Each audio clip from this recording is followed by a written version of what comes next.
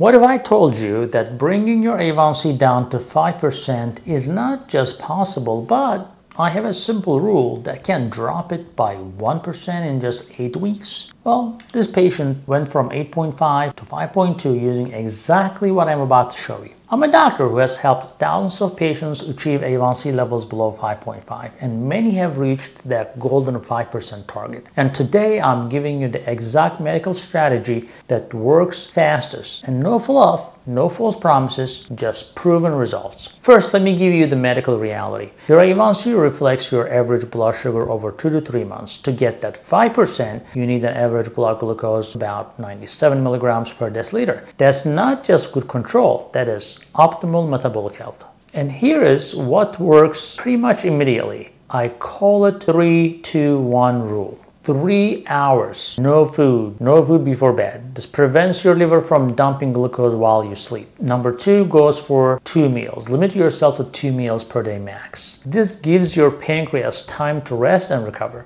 And focus on one micronutrient change at a time.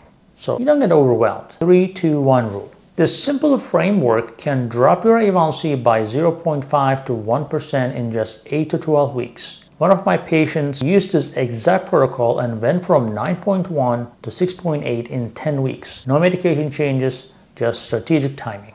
And here's why this works. When you stop eating 3 hours before bed, your liver stops producing excess glucose overnight. When you limit to 2 meals, you're naturally doing intermittent fasting, which improves the insulin sensitivity. And when you focus on one change at a time, you actually stick to it instead of getting overwhelmed. The magic happens because you are giving your body time to process glucose instead of constantly flooding it more. Think of it like trying to empty a bathtub while the faucet is running full blast versus turning off the faucet and letting it drain. But this is just the foundation. In part 2, I am revealing the exact foods that can spike your blood sugar 200 points versus the foods that barely move it at all. Plus, I'll show you the plate method that makes A1C control automatic. For more evidence-based strategies, check out sugarmds.com where I share my books, my diabetes reversal techniques, and guess what? Part 2 is coming next.